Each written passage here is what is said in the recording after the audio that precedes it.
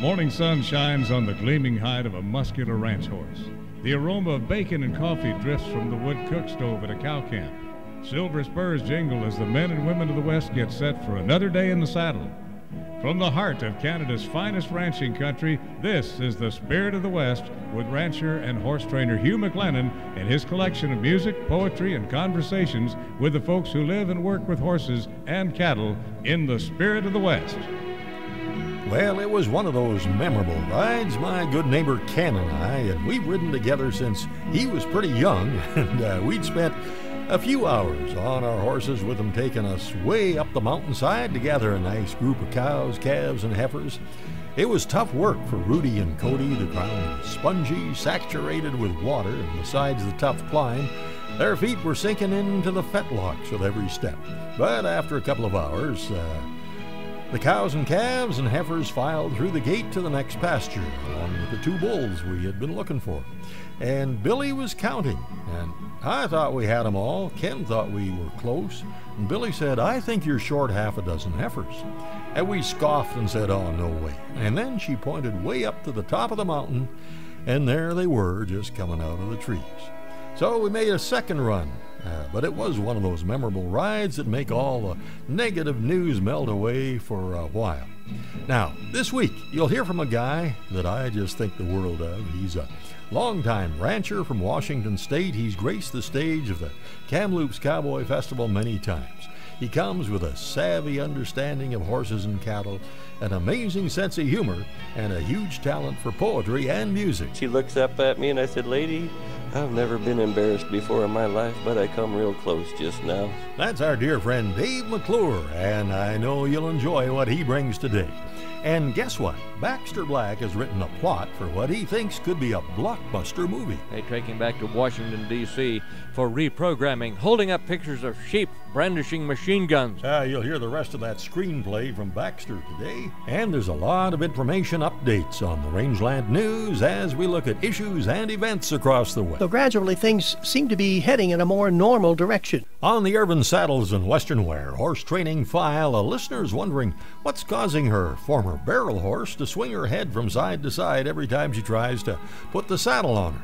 And you know, it was so good to be back on stage with my old pal Butch Falk, along with Gordy West and the Western Spirit anchor Mike Daggert a couple of Sunday mornings ago. It was great being up there with those guys and doing a cowboy gospel music set for about an hour and a half. Butch is such a great picker. And you'll hear an example of that in the middle of this song written by Mike Fleming. I ride with the old Barcy boys. Montana is my home. I ain't one to tell tall tales, boys. This story is my own. I've driven cattle through the raging streams, burning desert sun. I swear I come to know the fear of God when them cattle start to run. Stampede, boys, stampede. Grab your mounts and head out to the draw. Ride for your life and pray you survive the madness of the wild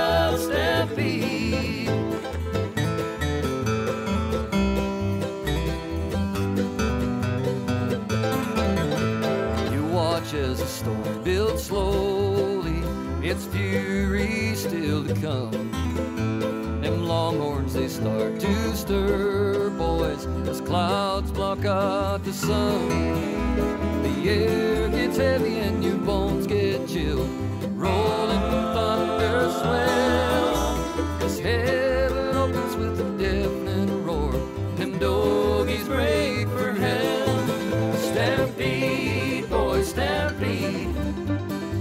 Grab your mounts and head out to the draw. Ride for your life pray you survive the madness of the wild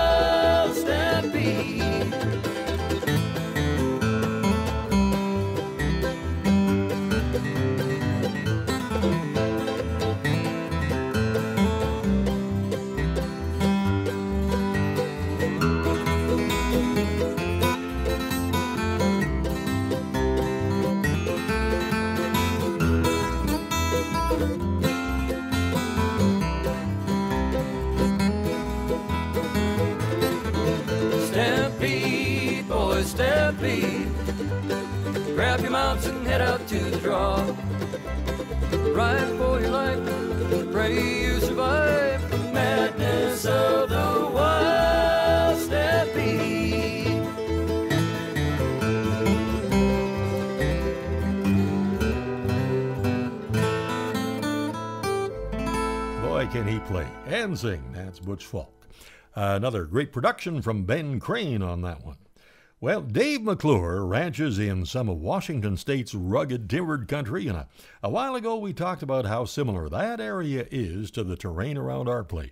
It's similar. We have a, a, one of our main main ranch ranges is on the Colville Indian Reservation, and we lease quite a bit of land from the tribe. And then we have another north of the reservation. We have a, a Forest Service grazing allotment that we move the cattle on a 25 mile drive in the spring up and then fall back down through the back roads and and everybody who has their horse you know and friends of the family got to get in on the big cow drive so how long does that take from the time you start with until you're where you can drop them off uh, in the spring, you know, when the calves are young, we take a make it two days. There's a holding pen halfway to that through, and but uh, we've made it back I mean, I've done it by myself. On the way back, after we gather, we spend five days gathering them and there's drainage, and then we spend the last day and we head them home. And once you get them on the road, one guy could really take them home, but everybody has to go anyway. Oh, yeah. But but there eh, a lot of timber, you know, it, it, uh, there's a lot of a lot of area. You know, a lot of it isn't grazing land, so you know have to use a lot of area to make an AUM for the cows. But is it cross fenced into smaller grazing areas at all, or is it pretty much all one big unit? Mm, we have some range fences that, that help us manage the forage better, and so they don't just sit in the bottom all the time. Now, what happens if you find a cow with a bad case of foot rot or pink eye, or a calf with pneumonia or navel ill or something, or any handling facilities up there? No, we rope them and do it that way. I've uh, my brother and I kind of invented a new rodeo event that we haven't quite, you know, got it caught on the rodeo circuit. It's uh, he roped his cow out in a herd, and um, but he lost a dally. So here's his cow running with the rope. Well, I got in this position where I could get a hold of that rope. But it was a pretty good meadow.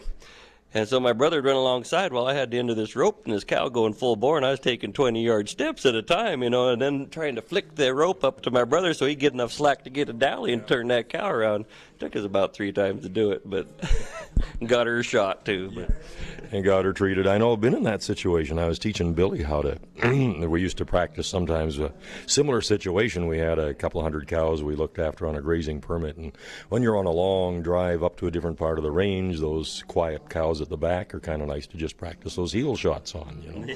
and so we spent a lot of hours riding up this logging trail with the cows behind us and just throw two heel shot and you know let her step into it, pull it up, and then give it some slack and she'll just kick it off and it's good. Well, she got one back foot just up above the hock and then she pulled it up good and tight for the next three hours. She followed that cow till finally I had to head rope her and dally her to a tree and go and take the. Yeah, take, but yeah, it's but it's nice, you know. You know, you got to have those experiences and live that to be able to, you know, write poetry or write music about that. And, and if you don't experience it, you know, your stuff doesn't come off real. Dave talks about what inspires the songs and the poems he writes, and I will sneak in a rarely heard song that he wrote when the Spirit of the West continues right after this. Welcome back to the Spirit of the West. Dave McLure is at home on the back of a good horse moving cattle or driving any piece of farm equipment, putting up feed or building fences and he's equally at home on stage behind the microphone, either with his guitar or at the piano, sharing the songs and stories of his life. And some of those stories he carries around with him in a couple of books. And the other book that I, I towed around with me was written by my dad. It's called uh, a, a Homesteader's Son, and it's in what my dad did. Well, we live on my great my grandpa's homestead, and a lot of our places and a lot most of our ranches built up of the other homesteaders that had moved on, and Dad picked up the land and and, and he captures a lot of local history around Nespelem on the Colville Indian Reservation in Washington State. And it was really neat that he did that because a lot of the old timers that he um, interviewed to get the stories for the book, you know, you know, five months later they weren't here no more.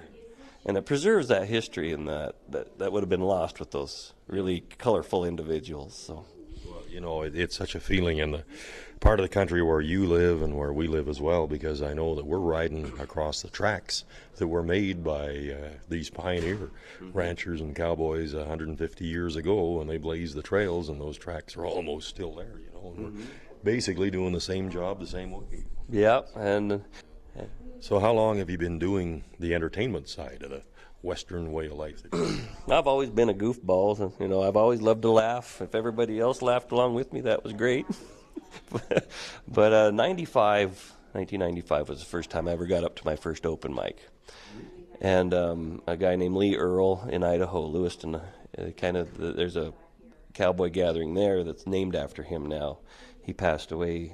But he was instrumental. He come up to me and says, Dave, you need to do this more. Okay. And he invited me down and put me on stage in front of 500 people and like, and you know, from there on I was hooked. So, Were you nervous? oh, I was nervous, but you know, I've always, yeah, I- you get up on stage to have fun. If you're not up there having fun, you shouldn't be on stage. If you're up there nervous and tight and wondering what people are thinking about you, it's not. Then you're thinking you. you're taking yourself far too seriously. Yeah, you need to get up and have fun, and when you do, everybody else does. Now, I've looked far and wide for a song from Dave. I've enjoyed his music at the Kamloops Festival for years, but I can't find anything he's recorded. But I finally found this. Uh, it was from a live set he did uh, from the 2013 Foot of the Blues Cowboy Gathering in Pendleton, Oregon. And it shows his sensitivity and deep love of ranching traditions. Hope you can listen closely to the words and the story.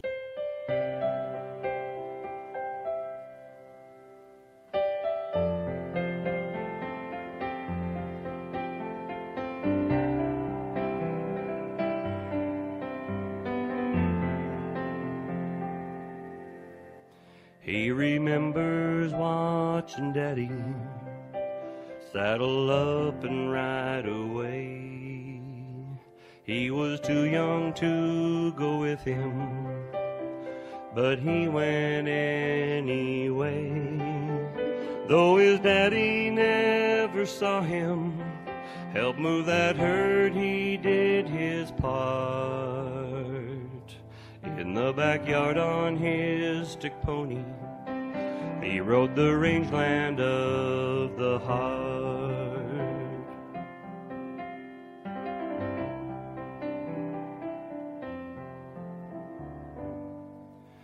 When his dad thought he was ready, gave him a horse to call his own. It was up to him to break it. First time on, he was thrown. But he got that horse to trust him. That's where real cowboys get their start.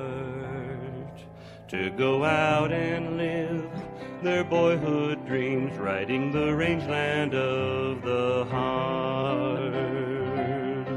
And those wide open spaces were his to roam. Roping calves and chasing cattle through trail dust and thunderstorm. And from his father learned a wisdom only a cowboy dad imparts. And it was just as he imagined when he rode the rangeland of the heart.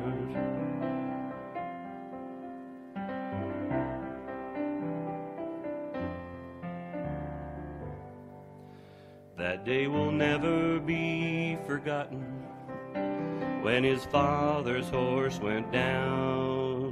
His dad was broken beneath the saddle.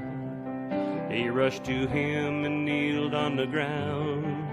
His dad said, My son, I'm so proud of you. As his eyes slowly went dark.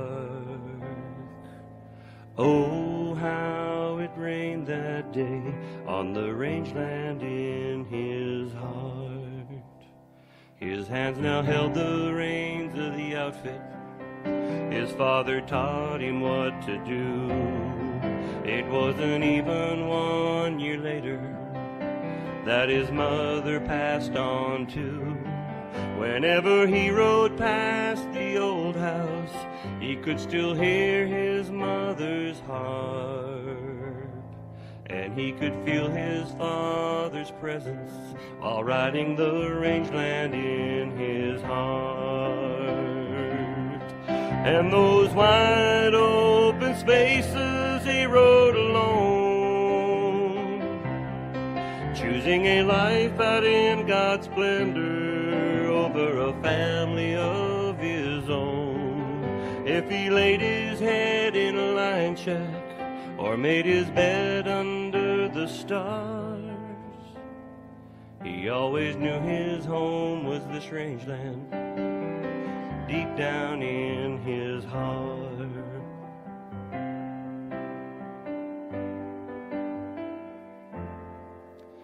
It's been 87 years since he first learned to ride. He watched the world change around him since the year his parents died. He saw the age of horse and buggy change to where everyone drove cars. Now few cared about this rangeland the way that he does in his heart. Now he sees those wide open spaces he used to roam, looking out a picture window of the county's old folks' home.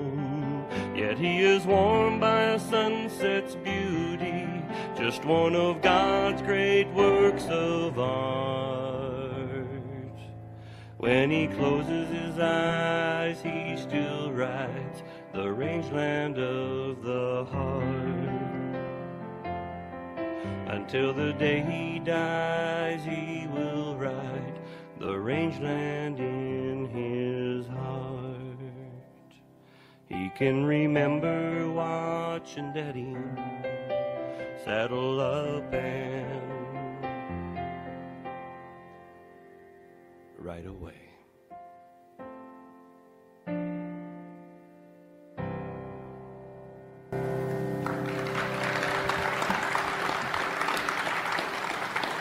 Oh, wow. I hope you got to hear all of that. Well, Dave is uh, one of those guys that's able to combine ranching, even at calving time, with cowboy gatherings. Uh, I come to a cowboy poetry gathering last year, and I'd been three nights in a row, four days, three nights on calving duty. You know, every three hours, you know, at night or, or less. And I get to this cowboy poetry show, and I'm supposed to be the entertainment for the entertainers in the send off party, you know, Thursday night.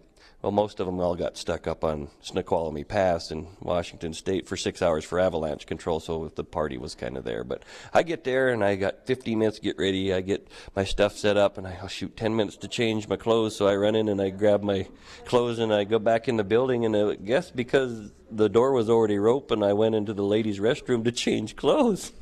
And here's this lady bent over, lacing up her boot, and she looks up at me, and I said, Lady, I've never been embarrassed before in my life, but I come real close just now. but later on at the show, before she could point me out as, you know, that's the guy who goes into ladies' restrooms, I confessed to everybody there. I said, if I don't seem to be here all night, you know, please know that I'm, you know, I'm running on fumes here. And I've been, you know, every couple hours getting my flashlight, checking the rear ends of cows, and if there's problems, I pull out a calf, and that gets me to thinking tonight I'm staying in a house with three cowboy poets who don't know me very well. I hope out of habit I don't take my flashlight and make my rounds. All right, coming up, Baxter Black reveals the plot for a concept he had for a blockbuster movie. And Matt Robertson has a good song, and man, it's the Rangeland News when the Spirit of the West continues right after this. Howdy, friends. This is Baxter Black on Spirit of the West with Hugh McLennan, and I'll be right back after this with a little peek at Dances with Wolves, the sequel. Your land is a legacy, a challenge from those who tended it before you to build on their foundations. At Corteva Agriscience, we understand what it means to be the stewards of a legacy. We embrace the challenge of building on the foundation of Dow AgroSciences to maintain your trust, to bring new solutions, to help you care for your land. See how we can help build your legacy at rangeandpasture.com. And for our Canadian listeners, just check Corteva.ca, the Canadian website. The scene opens with a lone Department of Interior bureaucrat fishing on the banks of a pristine stream somewhere on the vast western range. Soon he spots an old ewe that has been left behind by the band. They approach one another, tentatively, then gleefully, and soon they're playing together. On a ridge less than a mile away, two Basque sheep herders are watching. They laugh. Baile con lana, they said. The caption underneath reads, Dances with wool. The sheep herders ride down on their ragged mules and bum a cigarette, their version of counting coup. The bureaucrat goes back to their camp and spends the night. He falls in love with their chorizos and vino fino. He soon adopts their habits of eating mutton, not shaving, smoking pigweed, and naming sheep. One day he returns to his original camp. He is attacked by a stealthy group of fellow bureaucrats who pummel him with carbon paper and regulations, accusing him of consorting with the enemy. They take him back to Washington, D.C. for reprogramming, holding up pictures of sheep brandishing machine guns. But he escapes and returns to the vast western plain to be with his beloved sheep herders and their merry band. But at night, around the campfire, he tells his lanolin brothers that more bureaucrats are coming, more than the stars in the sky, more than the flies on a carcass. They will bring their wives. They will build condos where you are not welcome. They will replace the native plants with cottonless cottonwoods, creeping charlies, and plastic milk cartons. They will replace native transportation with RVs, BMWs, and riding lawn mowers. What's a lawn? they ask. And they will crush you with rules and taxes and propaganda, and then they will introduce wolves. S, they cried, which in Basque is no. The final scene shows a few sheep on the trail with the herders and the bureaucrat in the camp wagon. We can hear them talking in the distance over the bleating. Maybe the reservation will be nice.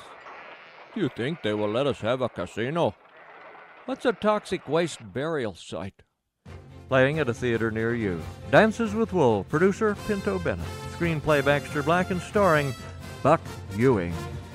This is, this is Baxter Black on Spirit of the West with Hugh McLennan, brought to you by Corteva Agri-Science. Matt Robertson was one of the trainers lined up for the Red Deer Main Event Trainers Challenge in April, and there were a lot of disappointed folks when the pandemic meant that uh, that event had to be canceled. Anyhow, here's Matt with a good song about a good horse. There's an old roan horse with his head hanging low, standing tied to a trailer at the rodeo, with a sagging back and sunken eyes, head to tail with a bay, fighting flies. Well, he's saddle marked and battle scarred, love too little, ridden too hard, but he's done his best since the very first day. It won't be long now, he'll be on his way. Come a runner from the box with his ears pinned back. He'll push that line, boys, he can track. How he loves to run and turn steers. Yeah, he's done me well the last 21 years.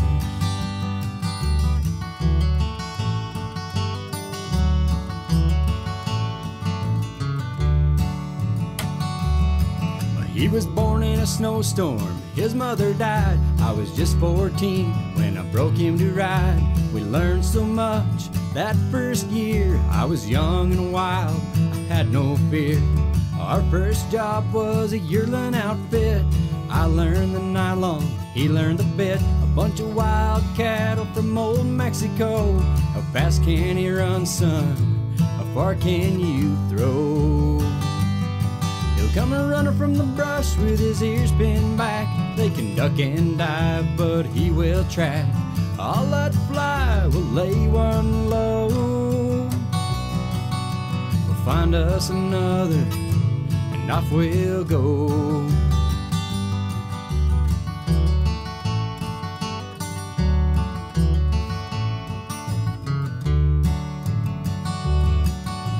Last Sunday morning, walked out and found my old roan horse laying on the ground. A heart attack, or the best I could tell, he never felt a thing when he fell. So I buried him deep neath a cottonwood tree, said a prayer, set his spirit free. An old sorrel mare came a walking by, a little roan colt clinging close to her side. To heaven, I know he'll be standing at the gate there waiting for me. Up on his back end, off we'll ride. Disappear into the blue across the great divide.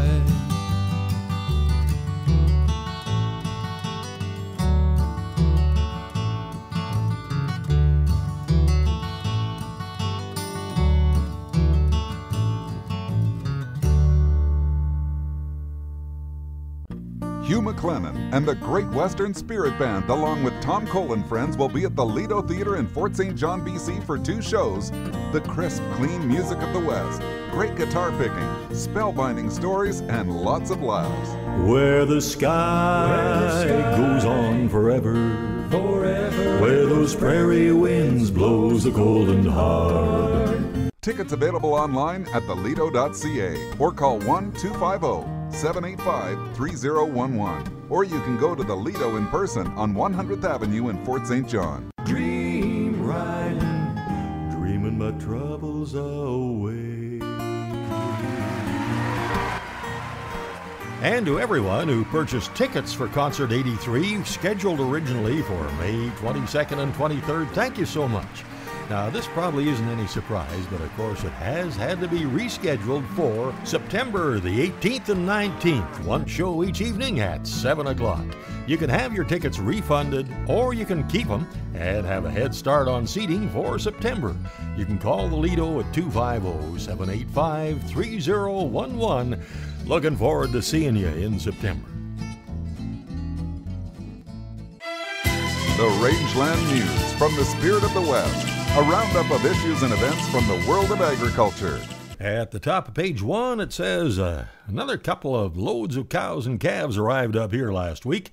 And with the moisture and the abundant grass, the gain should be pretty good as we approach weaning time. And as we watched them mother up after they were unloaded, we kind of speculated on what they might bring this fall, those calves. And trying to guess is like trying to jump on a moving roller coaster, but some analysts keep a close watch on those numbers of cattle going in and out of feedlots. And Gary Crawford has those latest numbers. The lowest May marketings out of feedlots in at least 24 years, placements into feedlots just 1% below May a year ago, and the second highest June 1st feedlot inventory in at least 24 years. That's the basic situation outlined in Friday's USDA report on May cattle feedlot activity, with cattle still being placed in feedlots but not coming out of feedlots as fast, especially in the first part of May when there were still significant constraints on slaughter capacity USDA livestock analyst Shayle Shagam. However, he says while it doesn't show as much in the overall May report, as we sort of worked our way through the month, we began to see more and more plants coming online. We began to see increased line speeds, some higher Saturday slaughters.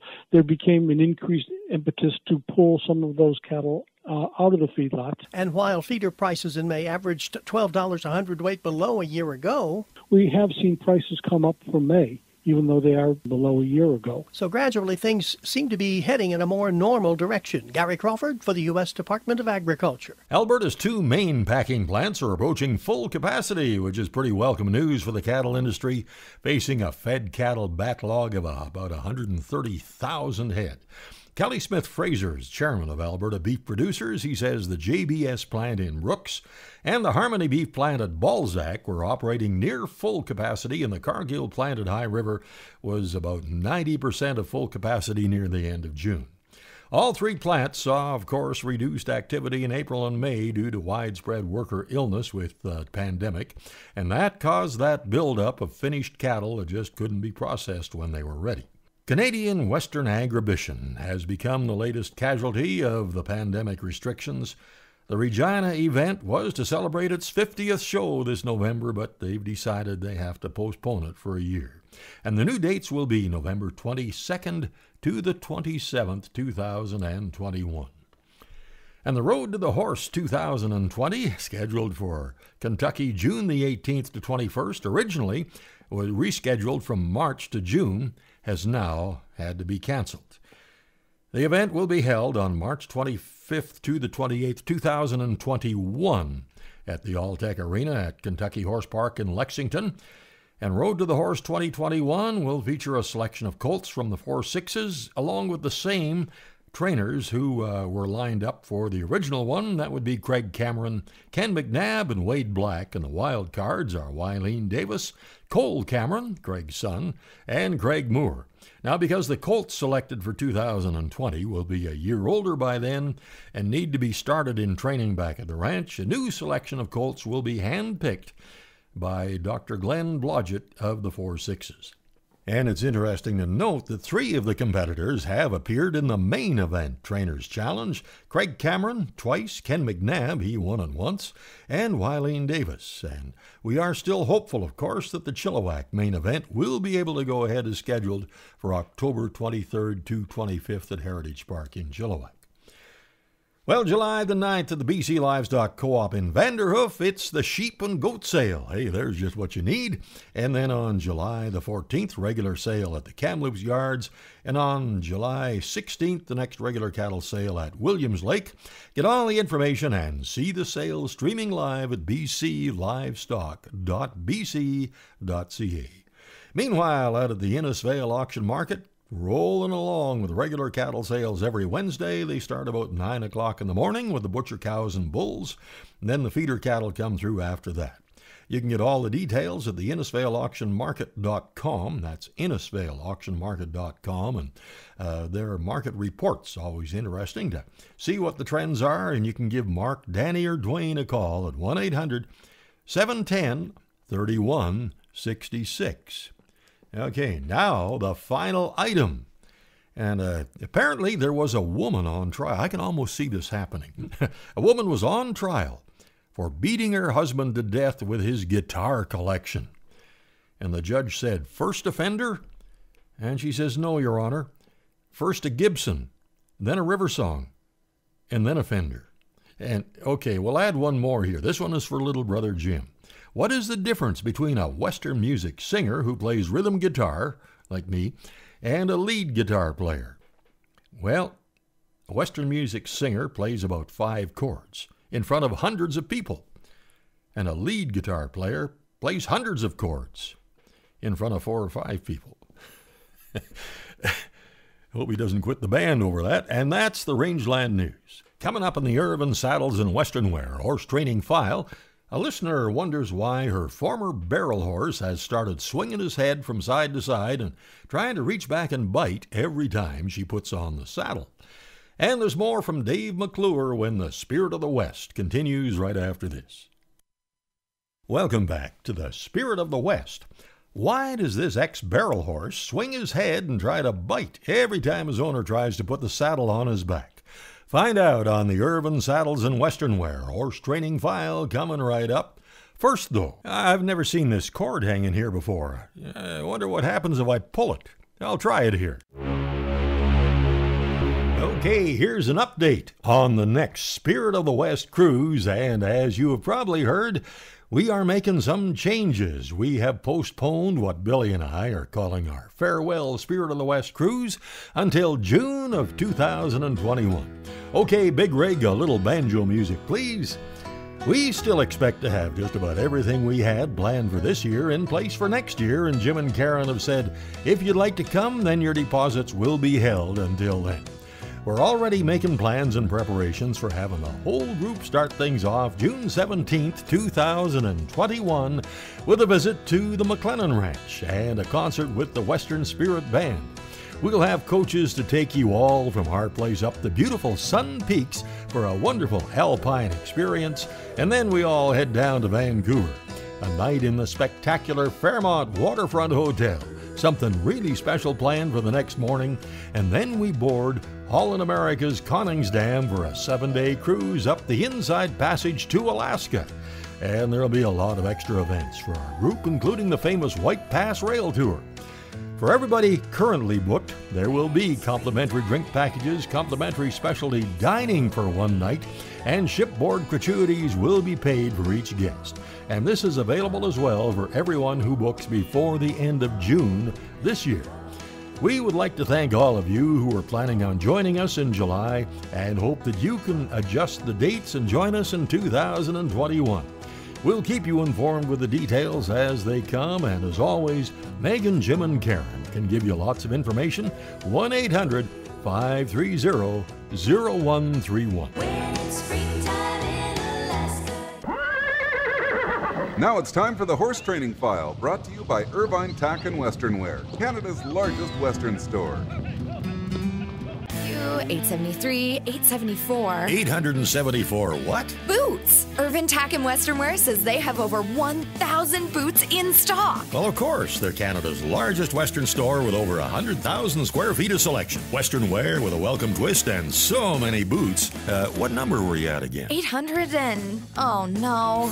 How about trying them on instead of counting them? Great idea. Find your perfect fit at Irvine's, exit 305 of Highway 2 by Crossfield. Canada's largest Western store.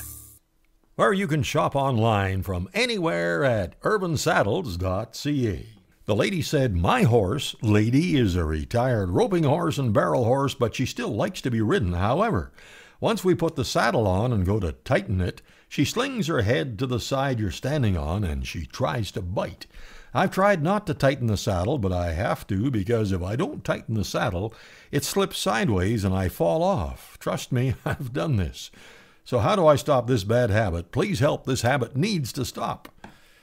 Okay, well, this is a problem that can develop very easily in a lot of horses for a lot of different reasons. One of the most common causes is just not being polite enough when you tighten up the cinch. I've seen a lot of horses that would object to the cinch being pulled up too tight too soon by pinning their ears back, reaching around to bite, and sometimes setting back hard against the halter shank or even sinking to their knees. And that's why, in almost every case, I don't pull up the cinch with the horse tied. I undo the shank and leave it looped to the tie ring or maybe draped over my arm. It's far easier to never let the problem develop than to try and fix it. And sometimes a dirty hair and sweat encrusted cinch will add to the problem. The right size and right material is crucial, and I always bring the cinch up to where it contacts the horse behind the elbows and then let it down several times. I'll just contact that point and then let it down, and then I'll buckle it up very loosely just to where the saddle won't slide sideways, and I'll walk the horse around a few minutes, holding the saddle in place if I have to.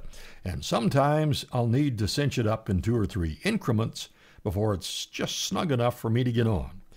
Oh, yeah, and often before I even let the cinch contact the horse, I'll brush the area behind the elbows on both sides for quite a while. Sometimes this will help desensitize that area, and the horse doesn't always anticipate the discomfort from the cinch with the first feel of contact.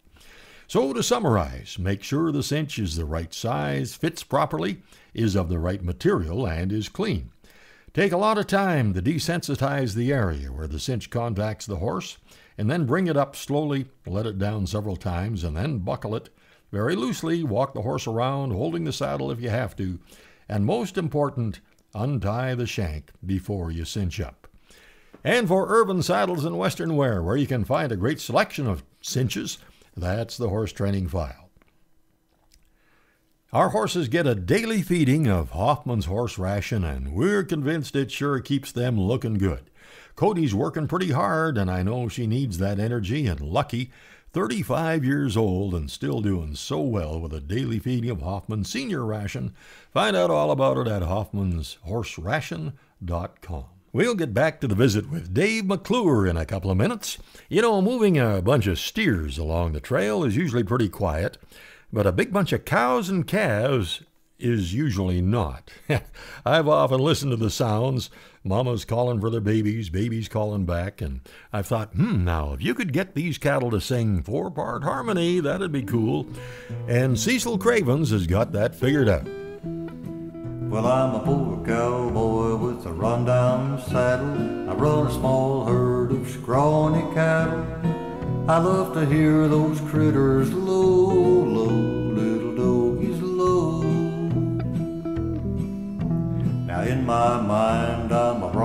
buster, Stetson hat and a Gucci duster, silver spurs and a concho hat band. I'm looking like the king of the prairie flatland. I sing a song while I tend my cows and dream of an audience in the thousands. I'm thinking about how nice it would be if my cows could sing four-part harmony, then we'd be a western show sensation.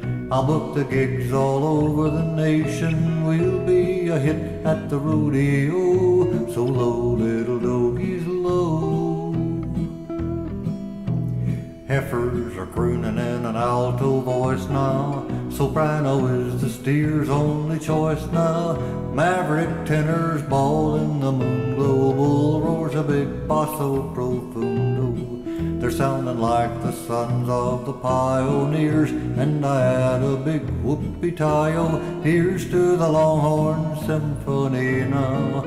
I love the bovine harmony now. Swing to the stockyard orchestration. Step to the hoofbeat syncopation. Pick up the tempo, don't let it slow and low,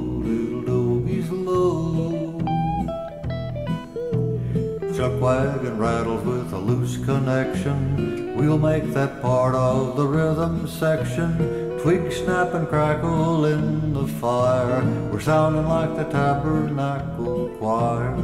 Practice doggies, keep on a trying. You may keep your steaks from a frying. Once from the top, now go cow go. And low we'll call ourselves the Beefy Tones. We'll be on Oprah, then Jenny Jones. Cows that harmonize, some that solo. You'll see it all next time on Geraldo. But wait just a minute, I've been dreaming. So much for all my planning and scheming. I gotta get my mind back on business. Oh, what a disappointment this is. We're heading down to railroad station. McDonald's is your destination. But if you can sing, you won't have to go. So low, little doggies, low.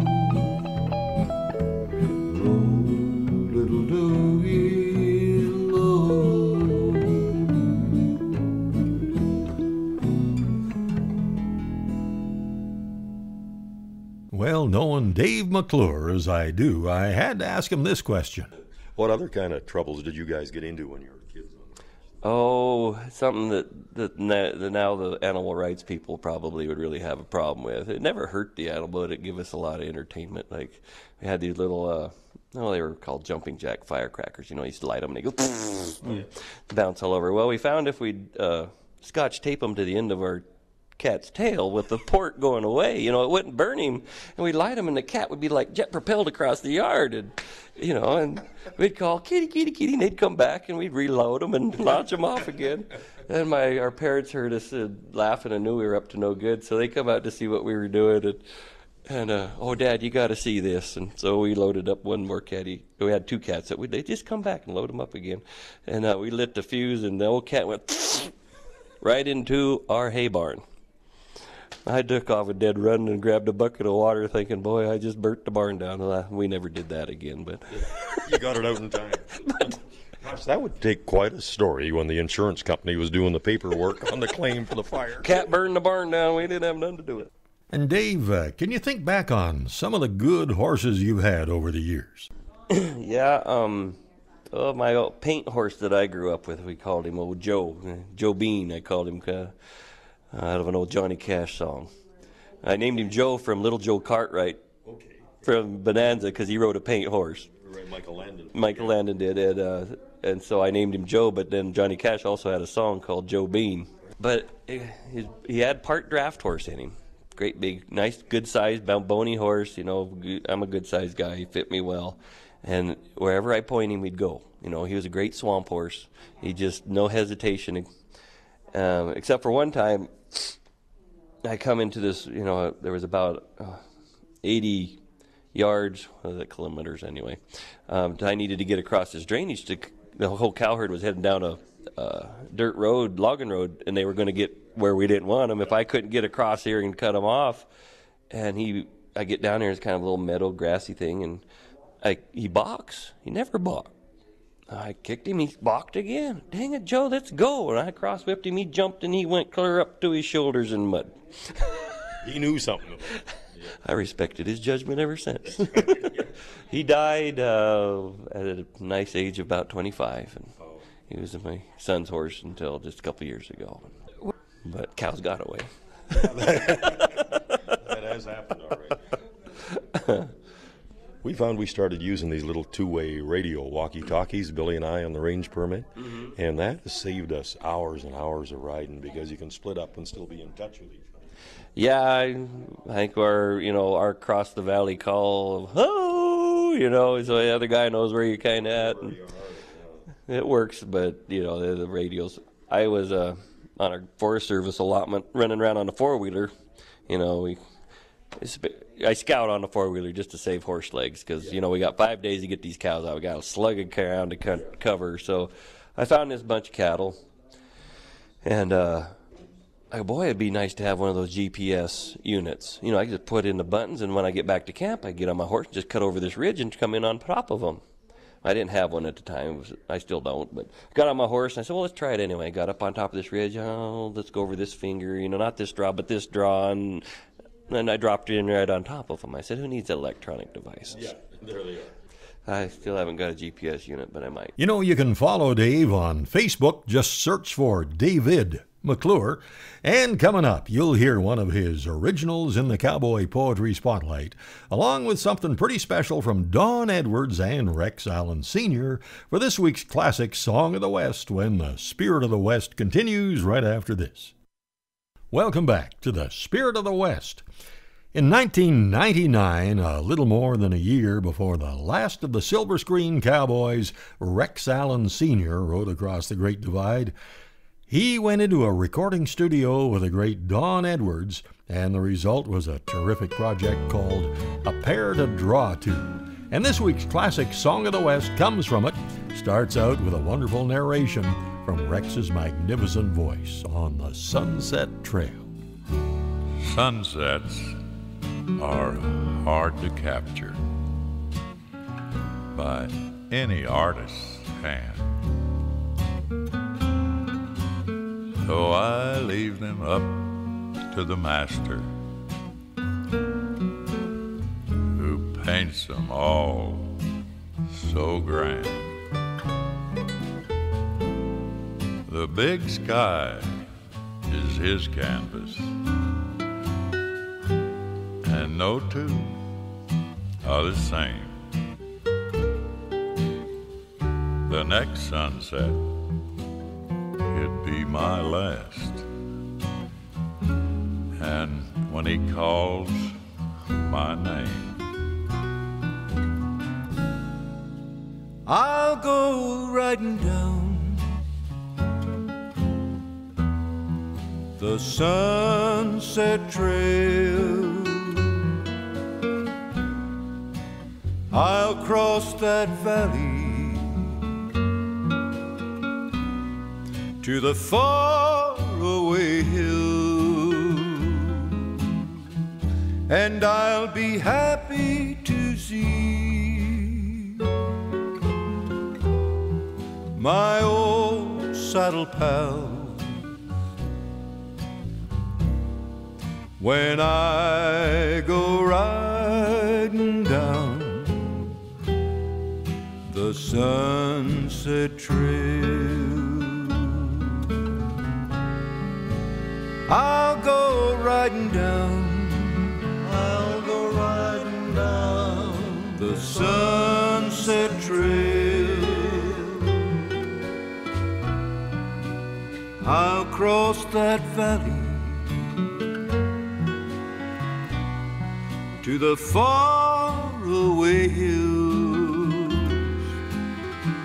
and I'll be happy to see some of my old saddle pals. When I go riding down the sunset trail, the sunset trail.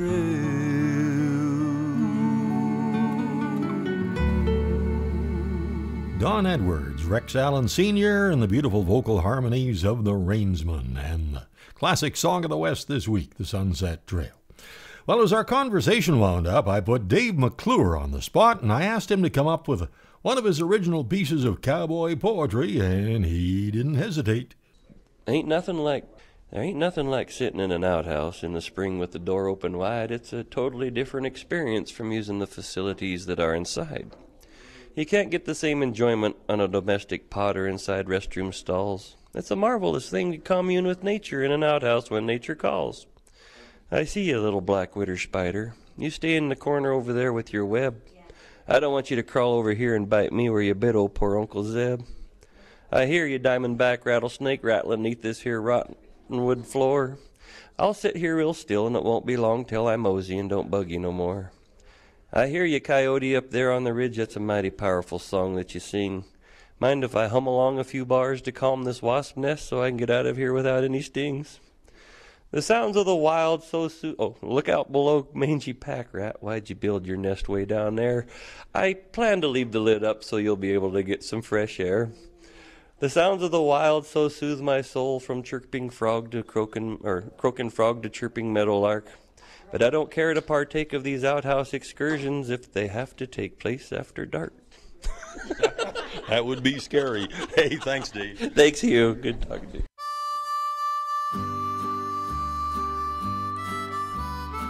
Well, thank you so much for riding along again this week, and I sure hope you can join us right here next week at the same time. And as always, thanks to our official support crew, Mark and Kathy McMillan. And Mark's the guy that can help you with those tractor parts you might be looking for. Just go to his page, bctractorparts.com. And if you enjoy this program, I know you'll love Canadian Cowboy Country Magazine. Subscribe online at cowboycountrymagazine.com and See our website, hugh-mclennan.com, for the links to the YouTube version of this program or our podcast.